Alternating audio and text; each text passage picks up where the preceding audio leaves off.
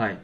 So, to install LaTeX on your computer, you need to download two things. The first one is called MiKTeX. So this contains all the instructions that the computer needs to compile a LaTeX document. And the second one is TeXmaker. This is where you edit or type your document.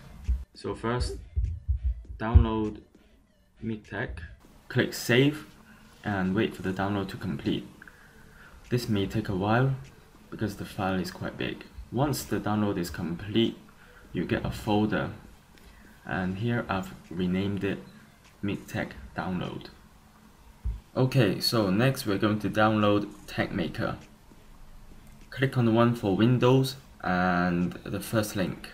Okay, so once you've downloaded MiKTeX and TeXmaker, first thing you have to do is go into the MiKTeX download folder and find the .exe file.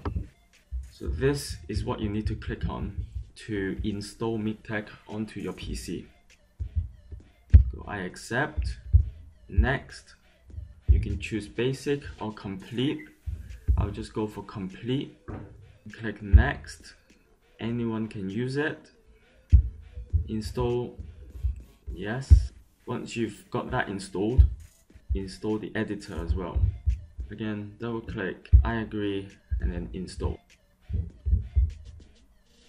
There it is.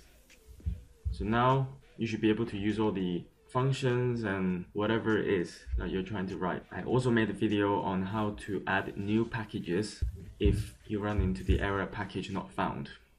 I'll link that in the description. So that's it. Thanks for watching.